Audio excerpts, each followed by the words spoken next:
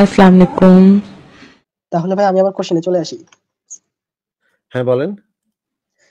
ভাইয়া আমার কোশ্চেনটা ছিল যে আপনারা সাধারণত একটা নিরপেক্ষ জায়গায় থেকে মানে মানবিকতাটাকে ইয়া দেন মানে এটা কি বলে এগিয়ে রাখেন। তো এই ক্ষেত্রে মানে মাছ মাংস খাওয়ার যে ব্যাপারটা ওই ক্ষেত্রে দেখা যাচ্ছে যে যাদের আমরা খাচ্ছি বা যার মাংস খাচ্ছি যে মাছটা খাচ্ছি ওদেরও তো একটা প্রাণ আছে বা ওদেরও তো বাঁচার অধিকার এই পৃথিবীতে আছে।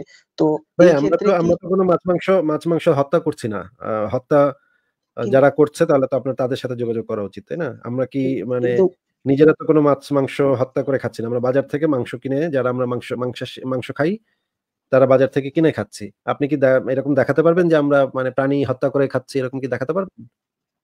না তাহলে ভাই ওই যে যারা বিক্রি করছে তারা কেন বিক্রি করছে? যেহেতু আপনারা খাচ্ছেন এটা চাহিদা আছে তার জন্য তো সেটা তাদের সাথে ডিল করেন। চাহিদা তো আমাদের শরীরের চাহিদা আছে আমাদের শরীরে তো এটা চাহিদা আছে।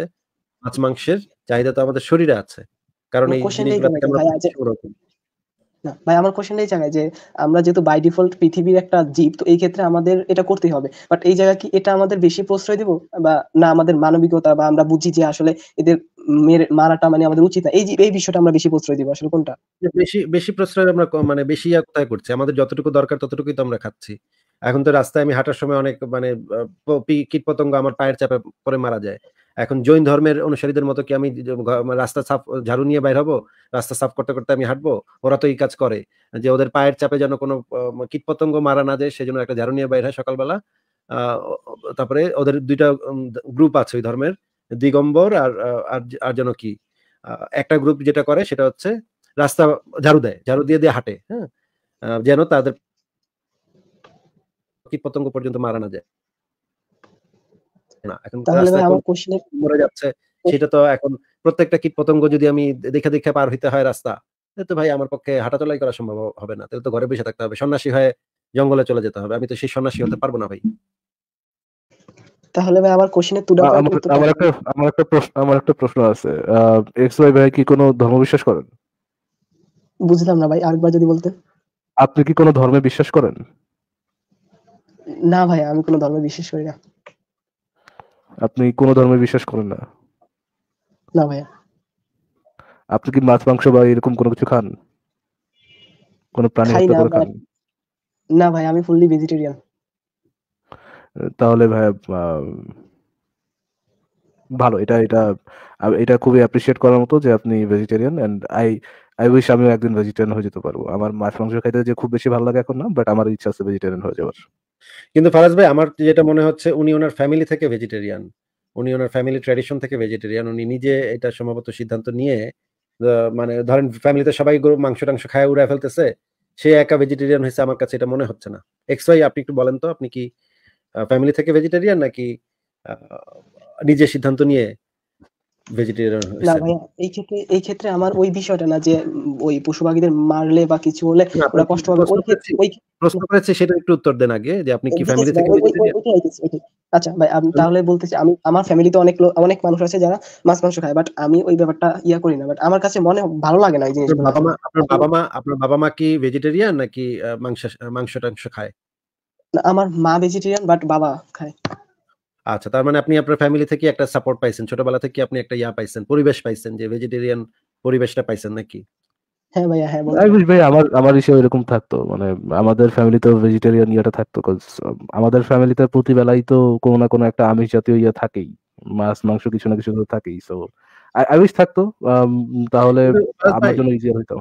ফারাজ ভাই একটা বাচ্চার ব্রেন ডেভেলপমেন্টের জন্য তো আপনার তাই বাচ্চাটাকে মাছে হ্যাঁ, যদি ওইটা দরকার হয় নিউট্রিশন দরকার হয় তাহলে তো খুবই ইয়ে জিনিস। বাট যদি আপনার কাছে ওরকম ডায়েট থাকে যেটা ডাক্তার থেকে কোন এক- কোন একজন ডাক্তার থেকে রেকমেন্ডেড ডায়েট যেটা আপনার ইয়ে পূরণ করবে আপনার আহ, আপনার শরীরের চাহিদাগুলো পূরণ করবে সেখানে তো ভেজিটেরিয়ান হইতে আপনারও আর আমার কারও কারোই কোনো কোনো সমস্যা কোনো সমস্যা নেই। তাই না? হ্যাঁ না মানে মানে ব্রেন ডেভেলপমেন্ট যদি ঠিকমতো না হয় তাহলে বুদ্ধিমত্তা মানুষের মানে ইয়ার মানে শরীরের গঠন এই জিনিসগুলো তো ঠিকভাবে হবে না। তখন তো তাদের একটা মানে ইসের ভিতরে প্রবলেমের ভিতরে পড়তে হবে।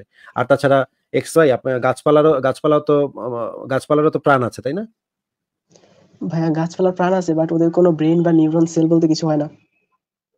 আচ্ছা এই কারণে আপনি গাছপালাও খাইতে পারেন। মানে যেহেতু তো ওরা ব্যথা পাচ্ছে না সেহেতু আপনি গাছপালা খাইতে পারেন নাকি? ওইটা হ্যাঁ বাট আচ্ছা তাহলে ধরেন ধরেন একটা মানে মানে ছাগলকে আমরা একটা ইনজেকশন দিলাম, সে নিস্তেজ হয়ে গেল। সে আর তাকে আর জবাই করার সময় একদম জীবন্ত জবাই আমরা করলাম না। আমরা তাকে, এরপরে সেটা এই যে ইউরোপে যে জিনিসটা করা হয় মানে স্লটারের সময় তাদের ব্রেইনে একটা ছোট ইনজেকশন দেওয়া হয় বুলেটের মতো। টুক করে একটা শব্দ হয় এবং অল্প একটু ব্যথা তারা পায়। কোনো, তেমন কোনো ব্যথা নাই এটা। এরপরে যে জিনিসটা করা হয়, যে তাদেরকে মারা হয়। মানে তারা যে মারার সময় যে ব্যথাটা সেই ব্যথাটা তারা পায় না। সেই ব্যথাটা তারা অনুভব করে না। এইটা এখন ইউরোপে বিভিন্ন জায়গাতে স্লটার হাউসগুলোতে এইভাবে প্রাণীদেরকে হত্যা করা হয়। তাহলে এটাতে তো আপনার কোনো সমস্যা নাই নাকি?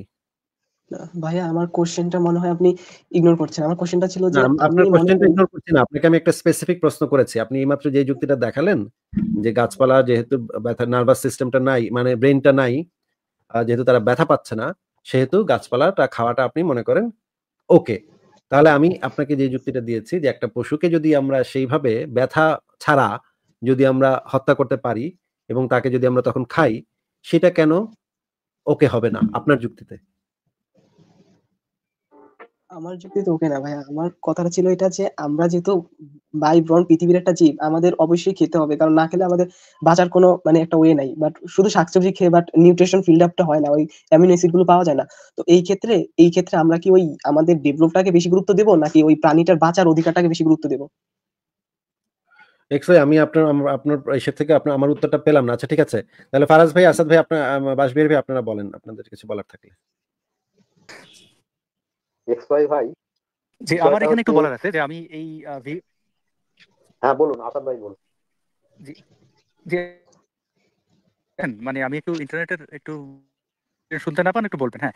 আমি আসলে ভিগানিজম এইসব একদম হার্ড কোর যারা তাদের খুব এই অ্যাক্টিভিজমটার সাথে আমি পরিচিত।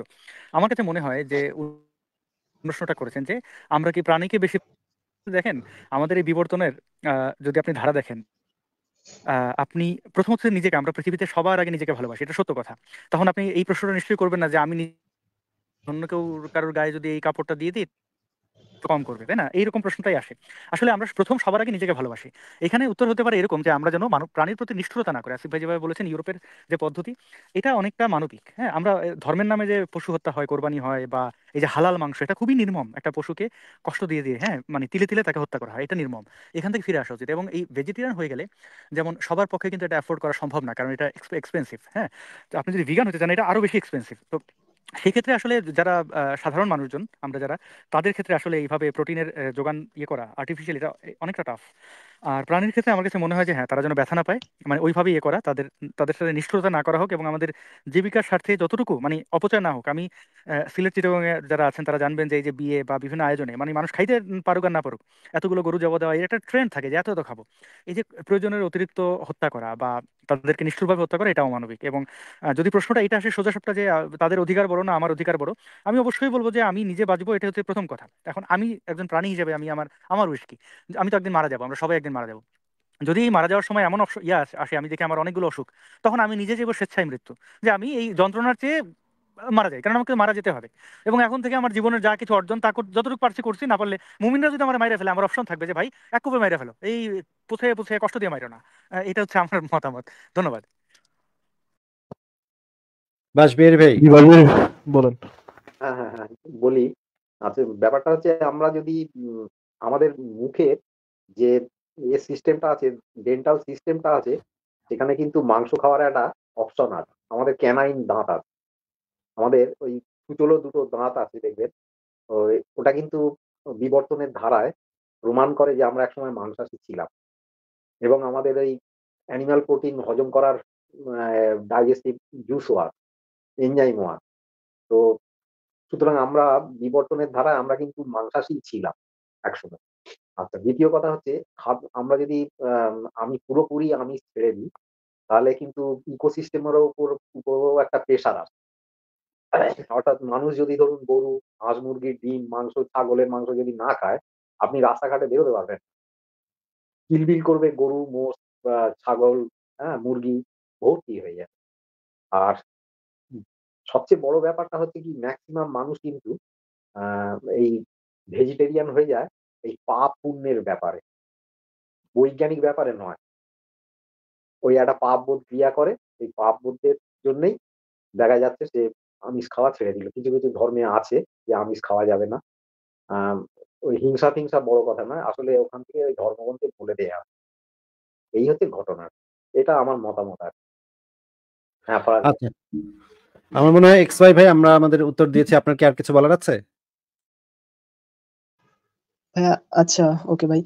আমার লাস্ট একটা জিনিস বলার ছিল ভাইয়া। এটা খুব কন্ট্রোভার্সিয়াল এবং আপনার আমি আশা করি টু দা পয়েন্ট উত্তর দিবেন। যে ভাই আপনারা গড বা ভগবান বা ঈশ্বর বা আল্লাহ এই জিনিসটাকে কীভাবে দেখেন আপনারা আসলে? আপনাদের আপনারা এই জিনিসটা কীভাবে দেখেন? কোনোভাবেই দেখি না ভাই কোনোভাবেই দেখি না। মানে দেখা বলতে বুঝেছি আপনারা কোনো মানে সাইড থেকে দেখি না।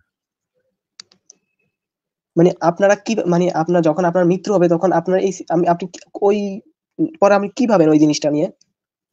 তাই তো ভাই মৃত্যু হলে তাহলে আমরা কোথায় যাব ভাই? ফারাজ ভাই বলেন তো নাস্তিকরা তাহলে মৃত্যু হলে কোথায় মৃত্যু হলে কি হবে?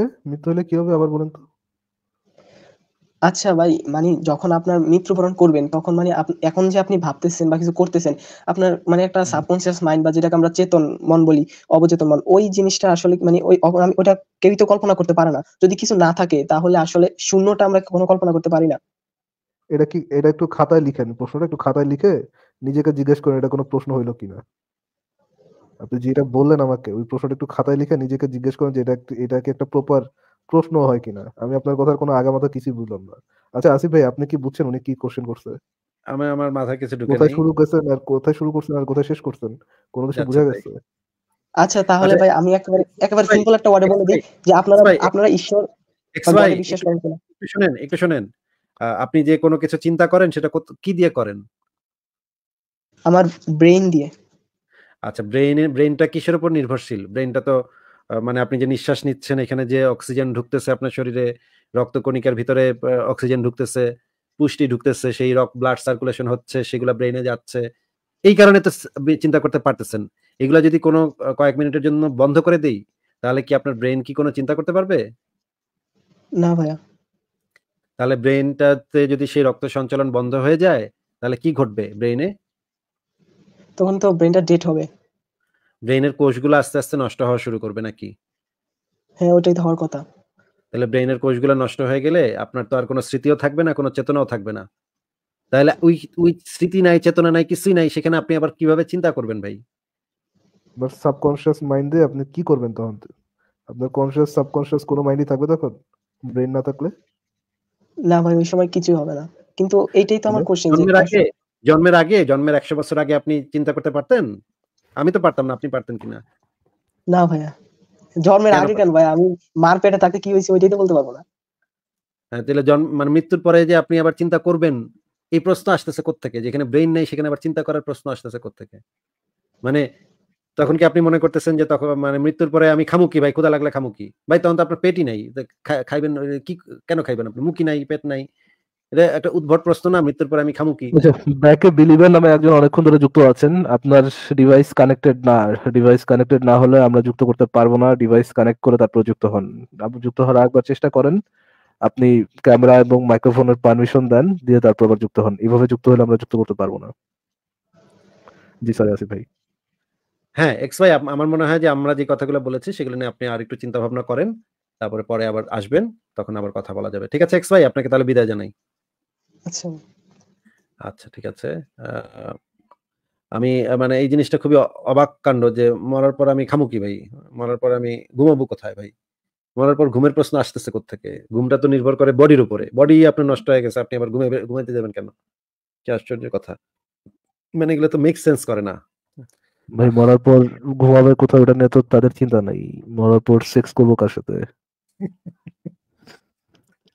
হ্যাঁ এটা একটা ইম্পর্টেন্ট বিষয়। আমার যৌন চাহিদা পূরণ হবে কীভাবে? এটা হচ্ছে মেইন কনসার্ন ঠিক আছে আরেকজনকে দেখি। ঋষভ ঋষভ